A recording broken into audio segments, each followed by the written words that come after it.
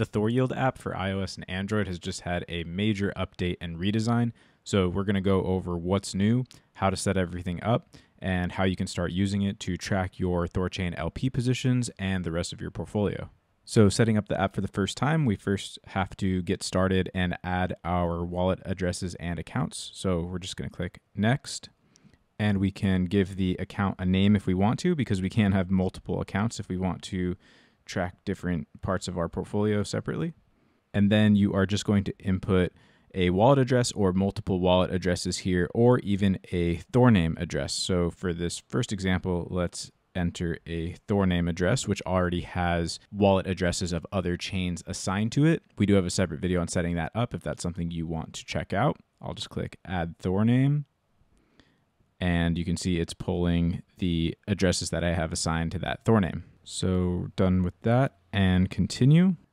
And there at the top, we'll see a overview of all of our pools that we have. I only have one pool on this account. I'll add some more in just a second, but we can see a breakdown of this ETHRUNE pool.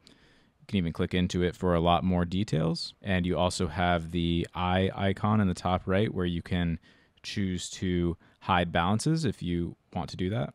And I'm going to add another account here by tapping up at the top and clicking new account. You could also add more addresses to the same account. I'll just leave the name for now and I'm going to paste in an Ethereum address. You also have the option to scan a QR code and I'll save that. So now let's switch over and view the other account. So for this one, you'll see there are a lot more balances and a lot more LP positions. And the ThorYield app makes it super easy because you don't have to keep all your addresses handy. You just load up these accounts once and then you can just tap the app open at any time and keep an eye on the changes in your LP position and your balances. So let's look into an example with this BTC pool. So you'll see all the stats that you really want to look for your LP versus HODL, which is how well your LP is performing versus if you had just held those assets instead. This one is up 1.22% in 88 days, so pacing a bit over 5% APY. We can see if impermanent loss protection would need to apply. In this case, no, because it's profitable. And we'll see all the other changes in value. These are, of course, due to the coin price fluctuations. And we'll see what is redeemable and a breakdown of where exactly our rewards have come from. So, moving on, let's check out the next tab, which is for monitoring your Thor staking, so your Thor swap token staking. Here you'll see a price graph over time of the Thor token, and it says that we need to add our account. We also see all the relevant info about the staking contract and what the APY is right now. So let's add an account here. You do have to add your wallets for each section of ThorYield just so you can keep everything organized depending on how you have things separated meaning the addresses you add for your LP accounts won't automatically pull into your staking accounts or your wallet portfolio tracking account. So you'll have to add it for each one so you can just keep everything how you want it. So let's save that. And now we can see our VThor balance of 1000 VThor and claimable Thor of 1220. So that makes it really easy to keep track of your Thor rewards over time. And this button in the top right also shows us the Thor rewards earnings over time as a whole. So this chart is showing how much rewards are going back to VThor holders. This is through Thor bought from the Thor Rune pool and distributed back to the VThor contract. And these come from trading fees. So here we can see the distribution history for all the past buys and keep track of how VThor is doing as a whole.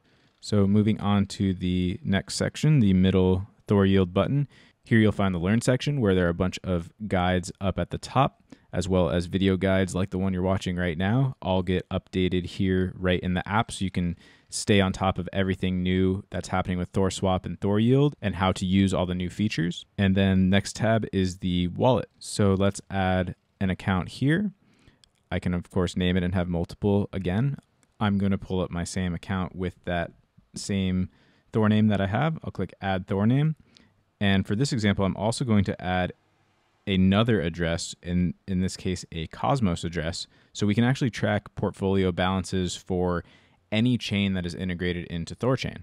So I've added that Cosmos address, and my Thor name is pulling a Binance, Bitcoin, Ethereum, and ThorChain address. And then I'll save this for my wallet.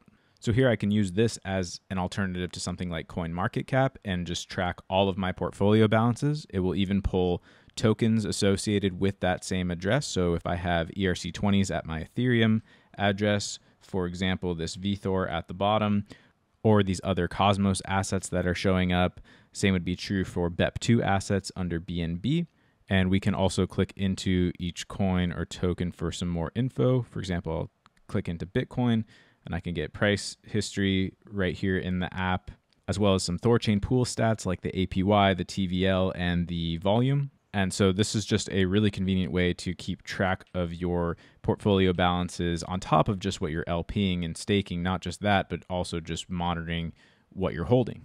This slider icon at the top right allows us to hide certain chains or tokens if we would like to do that. For example, I'll hide osmosis and now that is missing here. So if something was showing up that you didn't want to be tracking, you could do that. And lastly, let's check out some other options under the settings tab. So let's say you wanted to add additional wallets to an existing LP account or an existing portfolio account rather than adding additional ones. You could go up to accounts here and let's say I go into LP account in this example and for the one we called LP account with the Ethereum address, I could edit this and add additional addresses to show up under that account.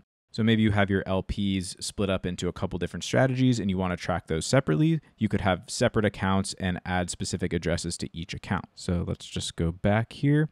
And same for wallet.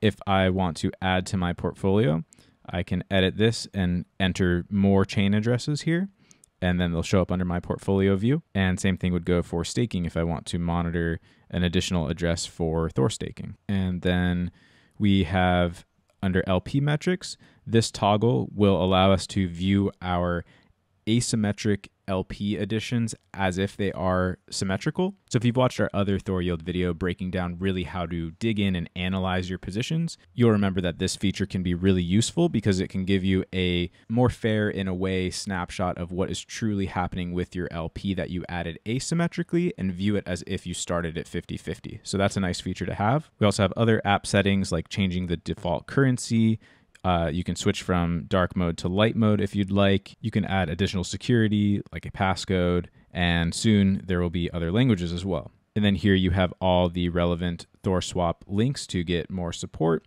You can jump into the ThorSwap Discord if you ever need to open a support ticket or you need specific one on one private help with something, as well as links to all of our other channels and documentation if you want to learn more and dive deeper into ThorSwap and ThorYield. So that's a quick overview of the new and very much improved ThorYield app, complete with the Learn section, guides and videos, LP tracking, Thor staking tracking, and overall wallet portfolio tracking.